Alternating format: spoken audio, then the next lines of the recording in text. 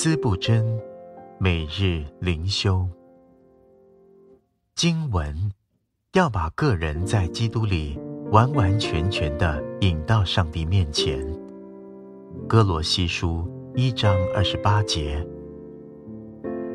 你是否觉得你里面毫无良善可言，离完全还差十万八千里？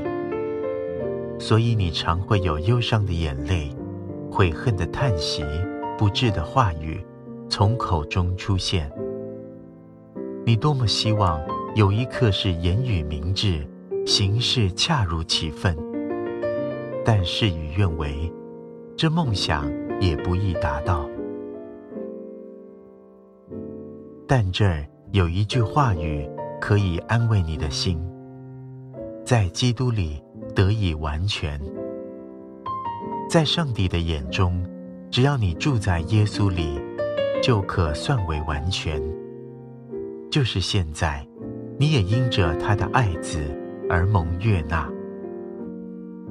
但还有一个完全有待完成，那是上帝应许给每位信徒的，也就是将来的宝座面前，每一位信徒都是无瑕疵、无玷污。无皱纹的视力，我们是不是挺巴望这一天赶快来到？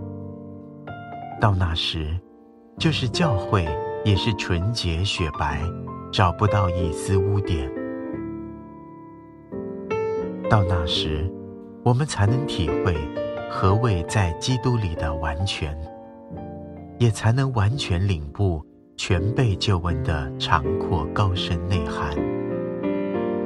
耶稣把我们背道的罪挪开，洗净默默如炭的罪，使我们洁净白如雪，并在他无与伦比的荣美上有份，能与天使为伍。